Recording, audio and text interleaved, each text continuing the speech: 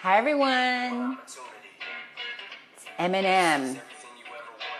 One shot and one opportunity. And today we're going to talk about your dream clients and how to attract them. All right. So we can get really get into the song. But I'm Shana Yao, CEO and business and personal success strategist at TotalGenius.net, where I help you discover your genius, which is a combination of your expertise and life experience, and build it into a profit generating business, which is based on your purpose. So today, uh, you know, I already did a three part video series on getting clients, but I want to talk about attracting your dream clients. And so I've really defined what a dream client is, at least to me. So if that doesn't define who your dream client is, this may not be the right broadcast for you. But, you know, uh, I believe a dream client is someone that values you. They, they want to learn from you, they value your intelligence, they value what it is that, that you do, the person that you are and uh, and they they want to um, they want to they want to learn from you, and in addition, they want to pay you. So you know they don't have to pay you right away in order to be you know part of your BBF, your best business friend audience. But uh, you know a dream client before they become a client is someone who values what you do so much so that when or if the time comes up when they need you, then they want to pay you. So uh, they they realize that you are the answer. So that's another quality of a dream client. Another quality is uh, you love them. You love the person that they are. You would probably be friends if you weren't working with them.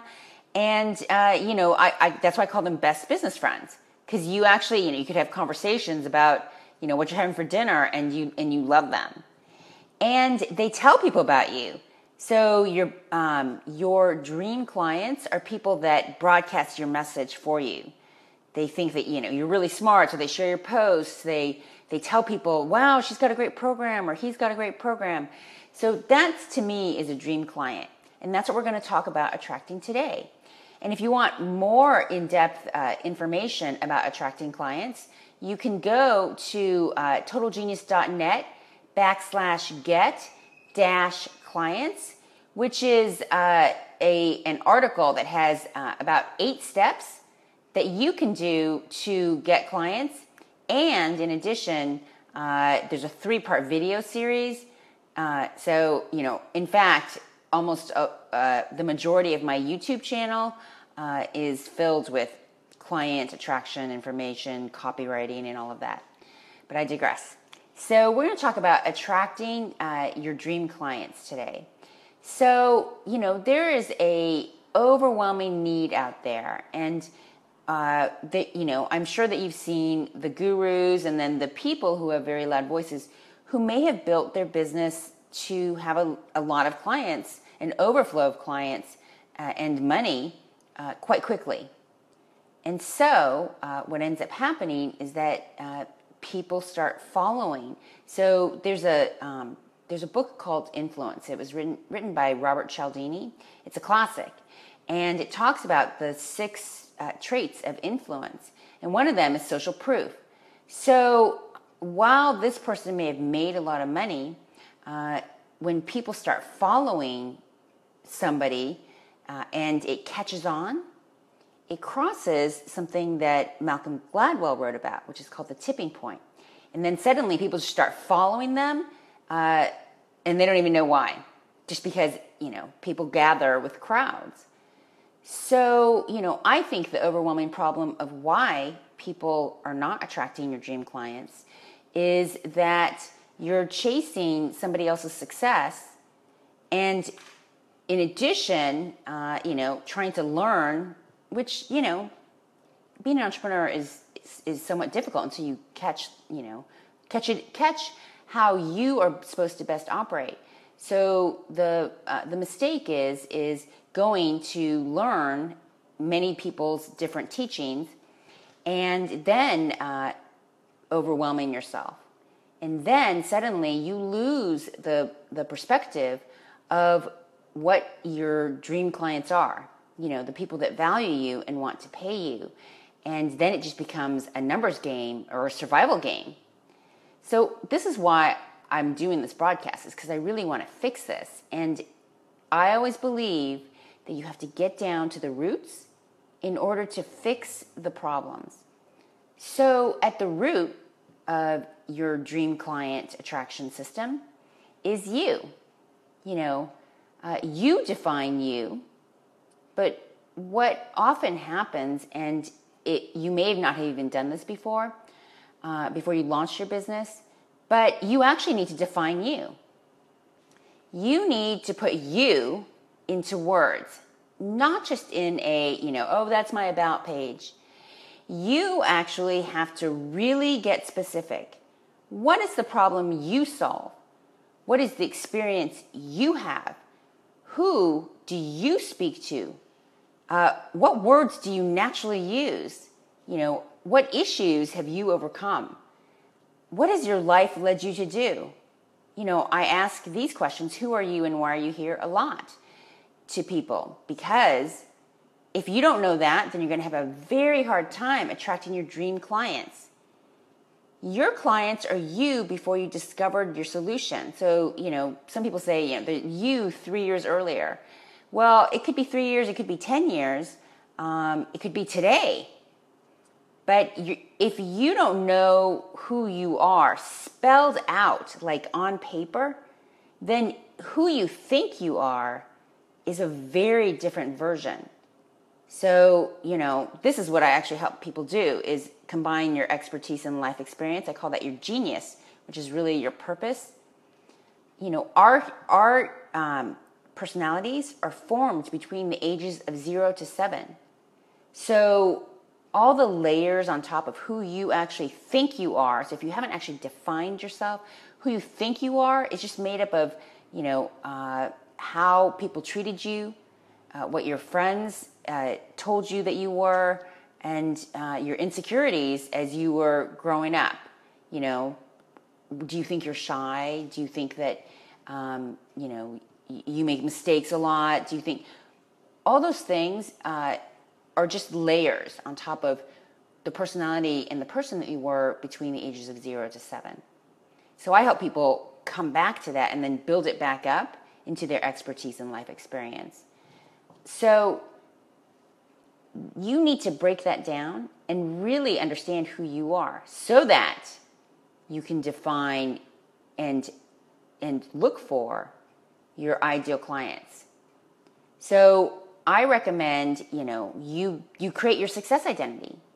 Your success identity is your highest self. So when you envision yourself at your highest self, which is who the person you should be to show up to be every day in your business, who you envision yourself to be as your highest self and break it down to three to five words. And so, whatever words you think you are, you should up level them because you want to show up better than you think you are. You actually, because, you know, we all uh, suffer from, um, you know, oh, uh, you know, we were raised not to stand out. We were raised to be polite, to not brag. Well, I tell my clients and my audience, my, my business friends, to brag. Brag boldly because you're doing it for the sake of others. This is not like, I'm so great, you know, you, um, you know, whatever you say. This is about, you know, speaking with confidence. People are, nothing sells like conviction and confidence. So you want to speak with confidence. You are the leader and you are CEO of your company. So those three to five words, if if they aren't making you like hold your chest up and and want to, you know, Tarzan, wah, then you need to up level. So those three to five words are at the basis of who you are and who you show up to be every day as a CEO. Then, you know, this is about what do you do? Like, what do you really do in your business? What is your genius?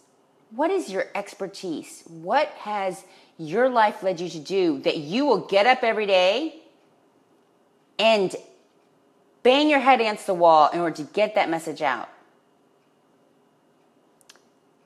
What will you be so bold because it's you, like down to the core, and you know it true to your soul, that you will stand up on your soapbox, even when you think nobody is listening, because you could go and talk hours about it.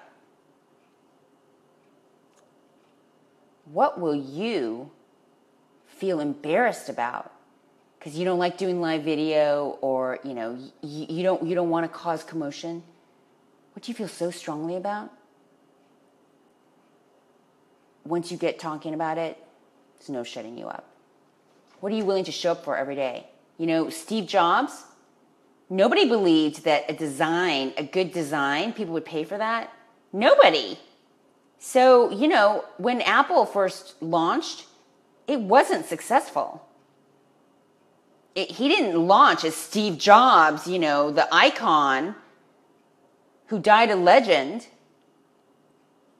People were like laughing at him. And you know, when he launched the iPhone, people were like, the Blackberry is so great. I'm going to pull out this, this clunky keyboard because I would rather do that than that weird iPhone. What are you willing to stand behind? That's called commitment. And I think this is missing from most people online, which is why, you know, people feel lack of visibility. You feel lack of visibility, uh, which is why then you feel like you're not you're not attracting clients. And I think part of it is is that you haven't decided that you're committed and that you're going to show up as that commitment every day. I can't tell you enough that your successful business is not paid by likes. No, you know, you can't take likes to a bank.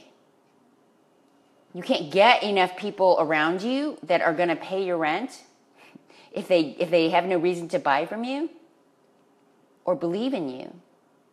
And so if you feel lack of visibility, then number 1, you haven't defined you. Number 2, you haven't defined your ideal client. Number three, you haven't defined your message. Those three things and your commitment mean that you show up with that every single day. Not because you think you're so great, because you know you are helping others. You know, in order to have a successful business, people need to exchange money for the value that you show up to be. So if you're showing up to be liked, that's not value. If you're showing up to um, to be distracted, that's not value. If you're showing up to make money, that's not value either. You actually have to have something that pe- that that you believe in and that people believe in, and then they get behind your mission. You know, gaining momentum with anybody is not an easy task you know, if you're just making a couple thousand and you want to grow to, you know, 10,000, 20,000, it's not an overnight thing. You know, you, you don't um, decide you're going to go on a diet and lose 10 pounds and stop eating cake one night and then, you know, wake up to check your stomach to see if you lost 10 pounds. That's just not the way that it works. So this is about your solid commitment.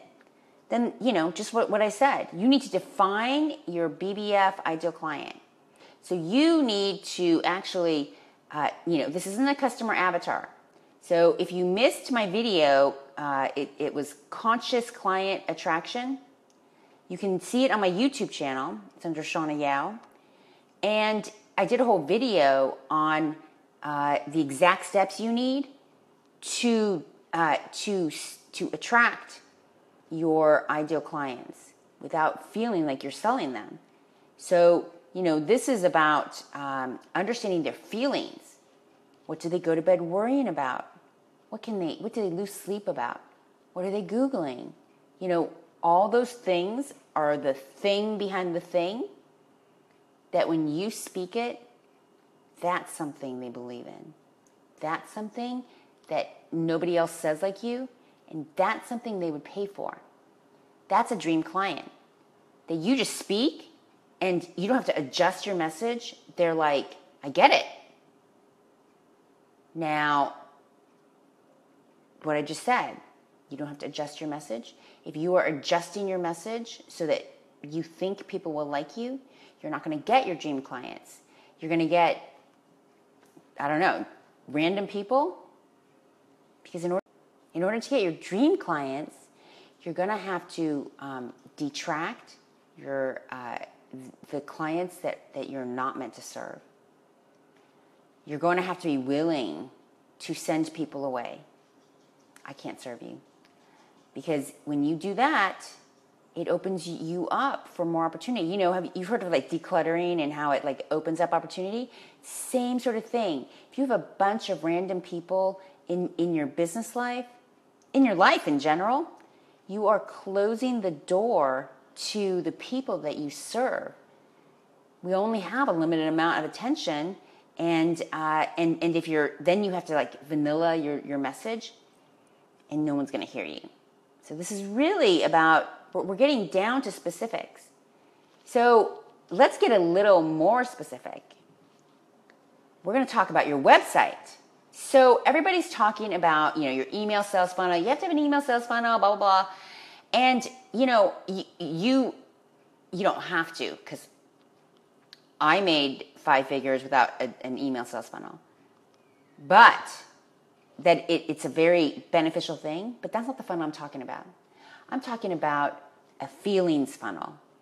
So don't go Googling that. I made that up. Because feelings, emotion, the middle brain, that's where real decisions are made, the heartfelt gut decisions. So if you feel, feel if you feel sleazy selling, you're not doing it right. Because we're going for emotion. Like we want our we're talking about dream clients, people that get us and so you get them too. It's not a one way street. So this is so now we're going to take it to your website. So this is part of your feelings funnel, and now we're going to bring it to um, to all the pieces that make up your business. So you know your home base in your business is not Facebook. Shock. Your home base is your website. The goal is to get people back to your website. You want people to find out about you. When people take steps closer to you, that's a part of a funnel.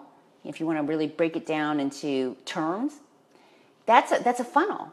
They are literally taking steps closer to you because they want to find out more about you. Whether you sell a product or service, if you interact at all with your ideal clients, and even if you don't, if you, if you have a more of a personalized product or service, then your about page really needs to speak uh, not only about you, but it has to um, attract the people that get you. So, people, you know, stories are how humans communicate, period. If you have a business or you don't. That's how humans communicate. So, when that happens, you, um, when, when, you, when you tell a story, is very interesting is that when you tell a story, other people hear it from their perspective. So they literally are like trying to find associations in their own lives based on your story. I'm going to just allow a minute for that to absorb. Is that, you know, the human mind takes in a story and builds your model of reality based on uh, on stories, based on like concepts that you can attach to your own life. If if you know when I say when people get you, that means that they are like you know they, they understand because they've been through something similar. If they don't get you, it's just like noise. You probably have thousands of friends on Facebook, and you, you probably recognize about you know twenty people. Oh, sorry. Sorry, package. Okay, so I'm gonna walk you through, you know, my my um, Harlow. I'm gonna walk you through my about page. If you want to go to it, it's at uh, totalgenius.net backslash about dash Shana. Harlow. Sorry. Okay, so let's see. So okay, so let me see if I can get a good So I'm just I'm just going to re- read you some key points. So I said I've never been one to follow the crowds, and my business uh, was certainly not going to uh, be an exception.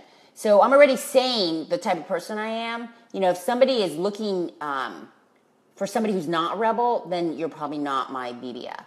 So, you know, I say I'm a business owner, a dog lover, an introvert. So I'm, I'm telling them who I, I am, meaning that if that if they are that, they get me. I'm about holistic health.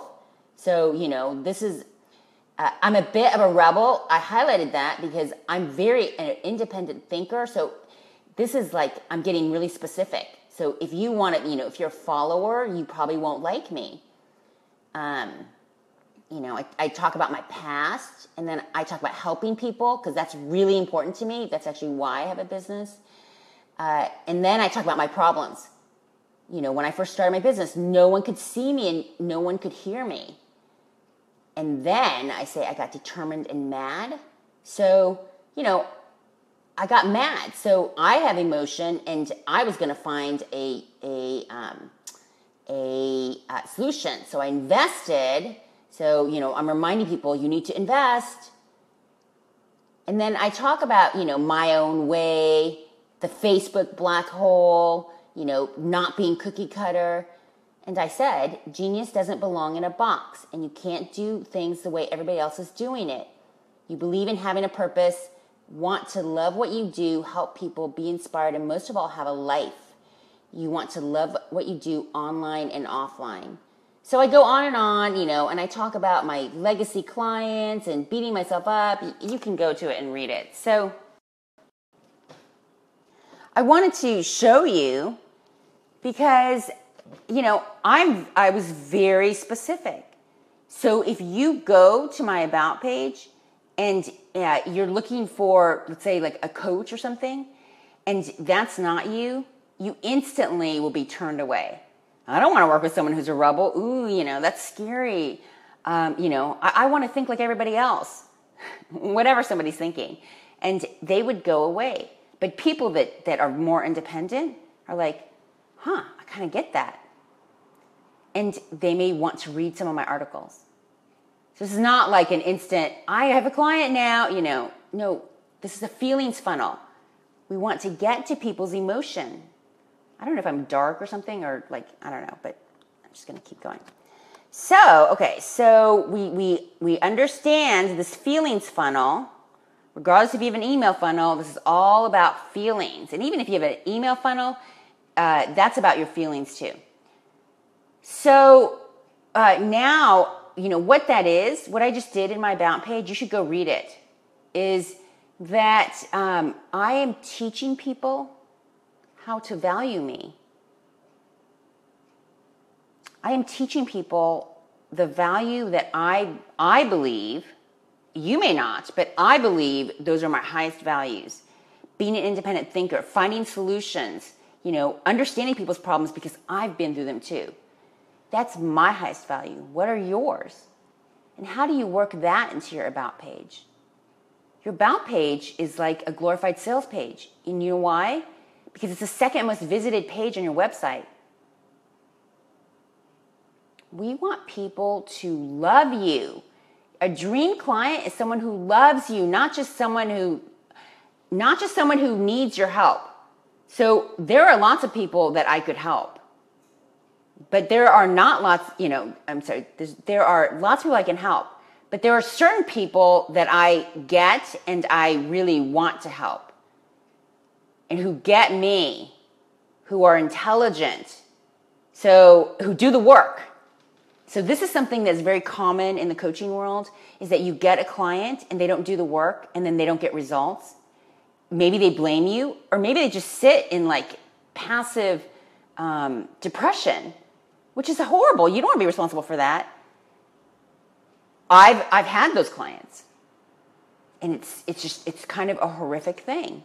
I had them in the very beginning of my business. And now I see. You know, I've had people book multiple consultations with me, uh, telling me, oh, yeah, now's the time, just so that they can learn from me in a consultation. And I learned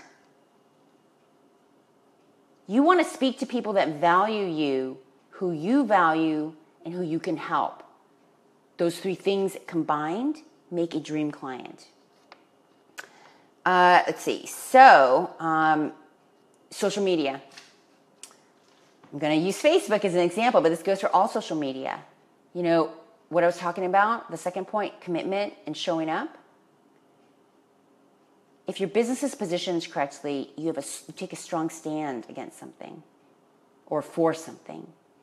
This means you don't show up for likes, you show up and deliver your highest value not the highest value of the most popular coach who's doing the exact same thing you're doing. And then you know you go oh well i'm gonna i'm gonna do that because clearly that's working for them. You show up every day and you are willing to be steve jobs. You're willing to be j.k rowling. You're willing to be all those people who created change because they were willing to believe in themselves. I say this almost every day Believing yourself, believing in yourself is not a sales tactic. It's the goal of everyone's life, whether you have a business or not. And it's the goal of your purposeful business. You're change maker. You know, you, in order to attract attention and from your dream clients, you're going to have to lead your own revolution. You don't have to change the world. You don't have to build the iPhone, but you have to be determined to lead your own revolution so that every day you want to fight for the people that, that you serve. That's a mission that's a worthy mission, meaningful, that is worth getting up for. It's worth feeling stupid for. It's worth um, getting over yourself for it's worth picking yourself up when you're having a bad day and, and saying, you know what, I'm charging for it. I charge for it every day. I have bad days every day because of my health condition. And I get up and stand in front of you because I have a mission. What's your mission? Then you need to go and write it in your about page, write it in your copy, speak it online. And then, uh, let's see. So the system of on social media is like you speak, you teach, and then this is so critical, you offer. It's like this loop. You have to um, keep reminding people you have a business. So, you know, I, I call this co- covert behavior people think I'm just going to not feel sleazy and hang out in Facebook groups and try to prove my value, and someone will see it and then they'll hire me. You know what happens? I wish I could make a cricket noise. Nothing. because everybody's hanging out on Facebook. It's a time waster and you're not giving value. Number one. Number two, you're blending in with everyone else. And number three, you're not giving people something to believe in. You lose your self esteem. You don't show up the next day. And so, uh, you know, covert behavior is doing that. Being a CEO of a company is about saying, you know what? I'm teaching you because I have a business. Am I trying to sell you now? You know what? Maybe I have a business. I'm showing you, uh, teaching you solutions to your problem. And if you need help, I have solutions. For the right people, I have solutions. You know, you need to make it clear that you have a business. You're a business owner. It's not sleazy. When was the last time you went to Whole Foods and thought they were sleazy? Uh, you're a business owner, so you make money by having people pay you. Period. And so uh, I just told somebody this today I tell people this a lot every time I see it that you should never use the word LOL after you talk about your business, state your business, talk about the price, uh, talk about raising your prices, talk about anything in your life. LOL is for something that's seriously funny. LOL is not, you know, I have a, a program and it's it's a thousand dollars. LOL. Speak with conviction. I have a program, it's $1,000. This is how it can help you. There is no LOL. You're not a joke. Neither is your business. Okay, so uh, you know, go to that video, uh, Conscious Client Attraction, on my YouTube channel, uh, and then you can also um, look at the resource, which is the eight steps to getting clients, and the three video series at totalgenius.net backslash get dash clients. I'm going to teach you a couple last things. When you are on video, be direct to camera. Like your eyes, you're looking at yourself. Look at yourself so that you're looking into the eyes of the people that you're speaking to. This is about, um, you know, they've done studies, research shows that when you are face direct with the camera and people can see your eyes, they associate you with whatever you're talking about meaning you're teaching solutions. So they associate you with the solutions. So you look at, at yourself, at the camera. Um, let's see. Your business should, you know, get people to move to change. You don't have to see that change, but you should be teaching things that are um, that are are uh, um, influential enough and meaningful enough that it creates change in someone's life. You may not see that change, but that's okay. You know, this is about understanding that when you have a mission and your purpose is on on track, that you will you will see it when you believe it. I didn't say you will uh, believe it. Let's see. I didn't say you will uh, believe it and then see it. No, wait. What am I trying to say? First, you have to believe it, and then you will see it. You won't see it and then believe it. You have to believe it, and then you will see it. You have to believe it when nobody's listening. You have to believe it when, you know, you're like, where are my clients? That's called believing in yourself. Um, and, uh, you know, that, I think that's it. I think that's all I'm going to teach you today. It's a little, you know, a lot. So if you want to get into further discussion about getting clients, join my group on Facebook. It's called the Genius Collective. It's high level, uh, intelligent, purpose driven people in there, and some of them love dogs. and, uh, you know, um, go to my resources, the totalgenius.net backslash get, get dash clients. Look at my about page you know, how that's written, you can model my about page and write in your own words. And, uh, you know, um, watch that video. So the video I did on conscious client attraction on my YouTube channel is actually really good. And so if you're loving this right now, you should really go and see that because if there's any bit of I feel sleazy or whatever, um, first of all, you have a business, so don't feel sleazy.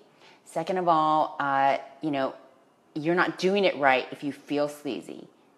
And so, you know, there's nothing worse than um, focusing on just numbers and following people who have numbers because just because they made money doesn't mean that you will. If they're not teaching you about you, not like, you know, just the habit, if they're not teaching you how to understand you, there is a problem. All you need in order to make money is you, your genius, and a way to get it out. You don't need an email funnel. You don't need, uh, you don't even need email. You don't need any of that. If you have a voice and you have something worthy of paying money for, and you have, uh, you have something to sell, and you have somebody else. Oh, so this is a great example.